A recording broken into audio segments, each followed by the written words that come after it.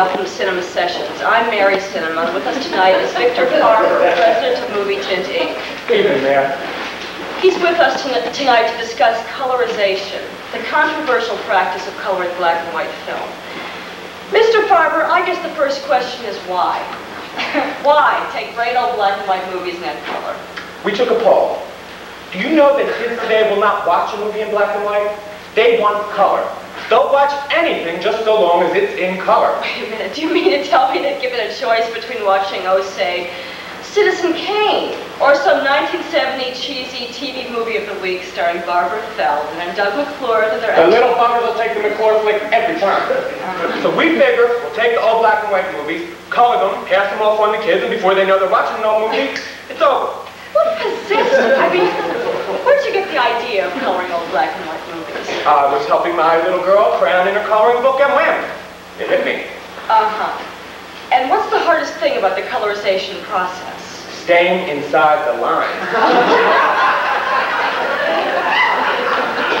There's been much criticism by actors, directors, film critics, historians, and fans who all maintain that you're taking great old black and white movies and destroying them. I ain't destroying nothing. They're all just jealous because they didn't think of it first. I recall seeing a clip of Astaire and Rogers dancing, which your film company colored.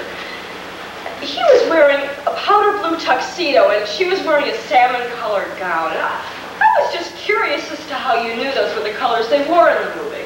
How the hell would I know that? what do you think, I'm psychic or something? I wasn't even born then. Uh-huh. And how many films have you terror colorized? Oh, a bunch. We just got our hands on uh, Creature from the Orange Lagoon. That's the Black Lagoon. Not anymore, it isn't.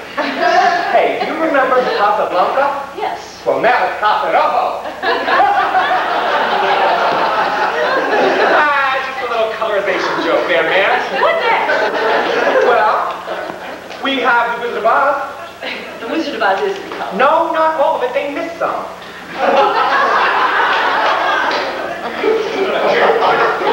I think they did that on purpose, creating a filmatic contrast vis-a-vis Kansas versus Oz. We can fix it. And another thing, look, I got that damn horse in there that keeps changing color. It must have been defective. No, that's the horse of a different color. We can fix it. And another thing, about those bricks. Yellow bricks. Whoever heard of such a thing? We can fix that too.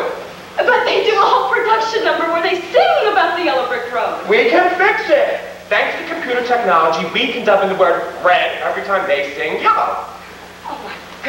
Did you know that they actually wanted Shirley Temple for that part, except she wasn't available? Wait a minute. Thanks to computer technology, we can put Shirley Temple in. Shirleyization. Hey, I like that. When the guys back the lab here about this. That's all the time we have. Uh, tune in next week when Steven Spielberg explains why he was not nominated this year for an Oscar. Hey, Mayor. Mayor, is that your real hair color? Yes. We can fix it.